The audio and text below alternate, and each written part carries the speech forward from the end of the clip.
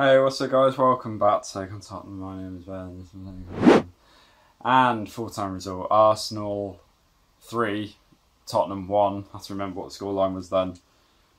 We're going to get into it. I've got notes, as you guys know how we run on this channel. I've got notes, but I have got a hell of a rant as well to come.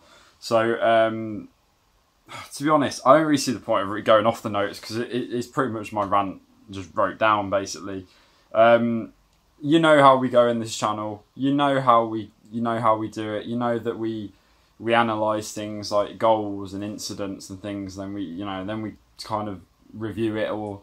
Hey, do you know what? I'm not even bothered about any of that because I I've got more to say about my team than just the match. Really, how, the match played out uh, um, in in general. I don't want to focus too much on on that because I need to rant about Spurs and stuff. Um, so let's just get on really quickly. So yeah, three one full time result. Uh, terrible performance, terrible, terrible improvement in the second half. But if they'd not come out of the tunnel, that would have been an improvement in the second half because you know they they're absolutely woeful, absolutely woeful. Um, yeah, Arsenal very good. I don't want to take anything away from them either. Um, you know, Arsenal were exceptional today. They they, they were brilliant. They played fantastic. Um, very threatening on the counter attack. Not really the Arsenal that we've been seeing all season. Really, you know, the the Arsenal that a lot of people have been seeing is probably not too dissimilar from Spurs. Really, you know, very lackluster performances. Um, you know, scraping one nils as well, isn't it? And and you know, probably a lot of similarities between the two teams, um, except from today. But yeah, um, just want to get that out of the way as well before we get into it because I, I said I thought Arsenal were fantastic. They fully deserved the win. Um, probably opened themselves up to a bit of a nervy last sort of 10 minutes with, with Spurs getting their goal back. Um, and, and and you know Ramsdale making a very good save as well, right um, in, in injury time to stop it from going three two. Could have then very well been a very nervy last couple of minutes, but don't want to take anything away. Arsenal fully deserved the win. Don't like saying it, but you do. So there we go. Rant time. What honestly, honestly, what what was that? What was that? What was it? What happened? What what did I just watch? It was absolutely terrible. And you guys know, if you watch my channels, you've seen my videos about North London derbies before. You've seen them. You know that I've said, and I, to be honest, this goes, this isn't just for any North London derby. This is for any match. But obviously, it changes. It changes for derby matches, be it Chelsea, be it Arsenal, West Ham, whoever. You know, the, the, the premise is still the same. But I, I understand that the matches, they have different sort of auras about them for for derby matches. Of course they do. Form goes out the window. Of course it does, because there's more to it. And you guys know, if you've watched my channel, you will know that I've always said, as long as that team goes out there and gives 110%, even if they come away and lose, I can still say, look, better team won, you know, but you gave it everything, and that's what I can say. You gave it everything, and I think in North London derbies in particular, we can go on about London derbies, but North London derbies in particular, this means something. This badge means something. The the Arsenal badge to those fans means something. It's all about that, and and when you don't give everything, when you don't show passion, when you don't show anything like you you're even a you like you even trained together, like you've even played together that's when fans get annoyed. That's when fans start to get annoyed with the management style, with with the playing playing style, with everything. And and what we saw in that first half was nothing short of absolutely abysmal, shambolic, terrible, whatever word you want to use about it. Crap. It was just it was just rubbish. And it, yeah, I, the attitude. The, where was the attitude? Where's the passion? Is a North London derby. Where's the passion? Like, really, where where is it? And and you're seeing performances, individual performances, and I and I look at this and I, and I compare it because I feel like you have to because you've seen the team at well again like I said what are we six games in I can't remember you've seen the team at, perform at their best against Man City I don't think any of us will lie when we said that the best performance of the season so far was the Man City game. And you go back in that, that video, you'll see probably the opposite of what I am now, which is a very jubilant person. Um, saying about how well the team played together, and they played together. That was the point. They played together. There was, and, and granted, yes, there was no Kane in that match. You had Sonny sitting up from Bergwijn and Lucas working hard on the wings. Dele, absolute workhorse in midfield. Højbjerg and Skip playing phenomenal. Tanganga was man of the match. You know, everyone played as a group and they were all playing for each other. And all of a sudden, within since then, and again another three. Well, I know we got one back, but a three goal defeat kind of. It's kind of gone, hasn't it? And and you're looking at Kane. Let's let's talk about Harry Kane. Harry Kane, I've very much given the benefit of the doubt over the last couple of weeks because I, I do think it's it's a lack of match fitness. It's a lack of you know just playing regular. But those are starting to go. Those reasons started to go because he is playing regularly. He is, you know, getting minutes under his belt. We could use that excuse after two games that he'd played, but he's been playing in in Europe. Europe, yeah, I can't talk. European games you know, he's playing regularly now. He's starting every single week. And what are we seeing? Lackluster performance. Um, general looking of not in no interest. Um, someone who he took a shot from thirty yards in the first half and it skied over. And I'm just and just a general look of disinterest in his performance, which is not what he shows. It's not what Harry Kane's about. Usually, you know, he's, you know, he last season when Spurs played bad, he was still the person who shone, and we're not seeing that. We're not seeing that. I'm seeing a player who's a shadow of his former self at the minute because I know how much football can just change like that. And if he scores two goals um, in like two, three, four consecutive games, all these comments will get forgotten and stuff because that's just how football works, isn't it? But what we're seeing right now, I'm not impressed. I'm not impressed at all. And I think what annoys me the most about Harry Kane's current form is you want to be the big player. You want to be the player that gets signed by Man City. You wanted the move to Man City and you want to be that player, as he has said in many interviews, to be considered with Cristiano Ronaldo, Robert Lewandowski, um, Lionel Messi, you know, you want to be considered against them. Guess what? Those players pull their teams through. Those players are always the players that, in the dying embers of a game, will still pull their team through. And what I saw from Harry Kane today, and what I've seen from Harry Kane last couple of weeks, so far from that. And I, we don't know why fully. We don't know why the reason is that he's playing as crap as he is at the minute. But again, I've kind of questioned like, do you drop him? Do you drop him based on form? You've got a striker who's not scoring. Do you drop him, or do you go, well, no, because it's Harry Kane? You know, the Champions League final result, um, uh, the final match. You know, Lucas Moura scored a hat trick. Harry Kane started over him, and and that's kind of, you know, what do you do? Do you drop him? Do you not? I I don't know. But it, it's pretty poor at the minute, and I've been ranting about Harry Kane for like most of the video so far. But um, yeah, it, it's not good. Um, Dele, poor game, absolutely terrible today. Didn't you know? Didn't show what he's been showing in the first couple of games of this season, couple of games, three, four games, whatever. You know, working hard. You know, non-stop running, going from box to box. Wasn't doing any of that today. None of it. Sonny, apart from the goal, was really vacant today. You know, passes going, uh, you know, to no one. Corners going to no one. Free kicks was a free kick. There was a chance to whip the free kick, similar to the Watford game. Whip it in on that six yard line. That's where that ball needs to go. Where does it go? Easy catch for Ramsdale up there. Nice and easy.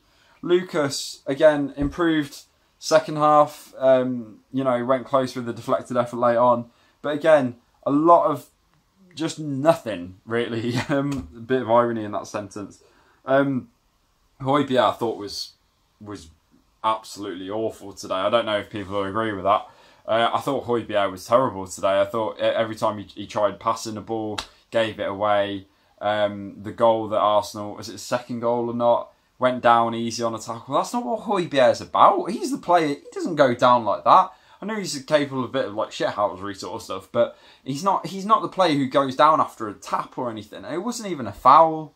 Like I, I don't know. I just that wasn't. I don't know. I didn't like it. Dier and Sanchez kind of reverted after a very strong season, might I add, reverted back to their their Dier and Sanchez from last season, where um, they were getting face planted by Man City players into the grass. Pretty much, they they just looked like they weren't comfortable. They didn't know what to do, where to go, who to look at. You know where they were. Uh, Ndombele, um, you know, again, watch this channel, big Ndombele fan. Again, I have to say, you wanted the big move in the summer, you wanted to leave, and what are you showing? You know, it's great that you showed a flick against Rennes uh, in a, a couple of weeks ago, whatever. But it's like, what are you showing? We had a couple of flicks, we had a couple of tricks, we had a couple of dribbles, but for what? Because it did nothing. It did nothing, and it's like then the tracking back, and then you know. But again, what am I seeing? What am I seeing from that? Not much, not much, and that's kind of the the running theme throughout the day. Reguilon, oh my god, Reguilon defensively again, um, slash defensively was up and down today. Some really good runs, some absolute crap runs, um, and it summed up it, uh, I think he was running against Tomiyasu, who ironically had a great game after being in, you know, linked with us in the summer. Um, uh, he was running against Tomiyasu. His hand clips here, about here, I think it was, and just like that. And I'm just like, why? Just get up. It's it, we all know that it didn't catch you in the face or anything. Just get up. Don't do any of that. And I saw so much of that from Reguilon last season. It really annoyed me. And I always highlighted it in videos about it because it did annoy me. I was like, just focus on getting back into the game, not trying to win a free kick because of your your antics trying to get a foul when it cl- quite clearly wasn't a foul. Uh, just that stuff annoys me. They look knackered. Nuno looked lost on the sideline as well. And I'm not. I do not get me wrong at all. I, this is not a Nuno out video or anything like that because I, I I do believe in giving the manager time. You know, I, it's not a. There's, trust me, there's going to be a lot of people calling for it after that, and you know, absolutely entitled to their opinion. I'm just not one of those fans. I do believe that you've got to give a manager some time. Poch, when he started, had an awful run of results when he started, like really bad. And look, obviously, how that turned out. So I'm not saying it will turn out like Poch or anything, but I'm not going to be calling for the manager's head after six or seven games. Come on. Um, but Nuno did look lost on that first half. He was stood there and the camera was looking at him, and he looked just a bit like, don't know how to fix this, don't know what to do. These guys look like they're ready, like lambs for the slaughter almost. Um, and they just, like I said, they look knackered. That like match fitness wise and stuff, they look knackered. They're not. They weren't chasing balls. They weren't doing, you know, you look at Arsenal, they ran for every ball. They, they, you know, even if they didn't need to, they were running for it. Aubameyang was running for every ball.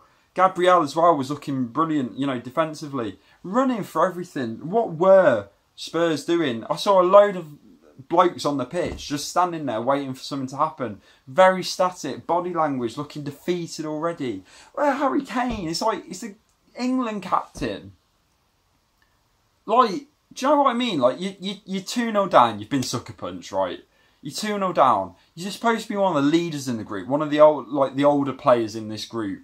Like he's 28, nearly 29, and he's like, come on, you know, you should be leading the team. I know Hugo's the, the captain, but come on, grab them. You know, grab them, pick them up. Like, you know what I mean? Like, you're supposed to be the guy one of these senior figures in the squad. Pick the younger players up. Step up. Højbjerg as well, one of the leaders in the team. Eric Dier, same for him. You step up and, and tell these guys, come on, gotta get a grip here. And they're just, you're looking at them, they're just like, don't know what to do, sort of thing. And that and that is infuriating, but especially in the North London derby. Um, the only positive I can say is Bryan Gil. I thought he was brilliant when he came on. I, I thought he, he, he did the best he could with the crap situation that was presented in front of him. Um, and he was the only shining light for me. I thought mostly, even the goal, like it, it, it, wasn't. You know, I said to myself, I was like, right, great goal, but we're not going to do anything because we don't we don't exert the uh, the image of a team that will do anything. You know the the, the West Ham match last season where um last yeah last season where Spurs went three 0 up in the first half, and then um, West Ham came back and obviously got that last second uh, equaliser. You know the game was difficult, three 0 down. Of course it's difficult. Spurs come out, they get an early goal. You never know. You never know what's going to happen. It's football. You never know. Spurs in that first half against West Ham looked like they were going to get 6 7 8 nil. And look how that turned out. It's, this is how it changes. And Spurs came out the second half, yes, improved, but nowhere, nowhere near a team looking like they were going to do anything to change that game. Like I said, improved, you don't have to do much. So, yeah, it, it absolute crap, um, rubbish, whatever you want to call it. Um, well done to Arsenal because, like I said, fully deserved it. I do not want to take anything away from that at all. Um, but Spurs not turn up enough. I know, I know, we don't win much at the Emirates anyway, but you just want to show, you just want to see a show of passion and, and stuff, and, and to not see that, and to not, you know, and, and see them capitulate how they did. It's very worrying signs. I don't like it. You know, we need to see a change. That's nine goals shipped in the last three league games. It's not good. You know, I and seeing those stats, you know, the, the least amount of shots, the least amount of work rate. And I'm looking at the, the interviews that like Nuno did when he was appointed and stuff. And I saw those interviews, it was like, we're going to make you proud. We're going to work, we, you know, we're going to work hard. We have to be the best. We have to be the best uh, of what we are and things like that. And whatever we are, we have to be better than that and, and things like this. And I'm looking at that and I'm looking at this and I'm going, hmm, that's not really what I saw, and I've not been seeing for the last couple of weeks. So that obviously obviously needs to be addressed. And I'm looking at Daniel Levy going this free flowing, fast attacking football thing that you promised when in the managerial search. Not seeing that much either. Just a bit worrying. I don't know, but yeah, need a response um, in the next game. Absolutely. I, I think we're in Europa League action. I can't remember this. Is it Thursday? Yeah, I think we're in Europa League action this week. But regardless, we need to see a response. Absolute need to see a response. I think it's uh, Villa next weekend. yeah, and they just beat Man United, so they'll be up for it as well. Um, but Spurs very poor, um, deservedly named and shamed uh, as well. Um, embarrassing, really.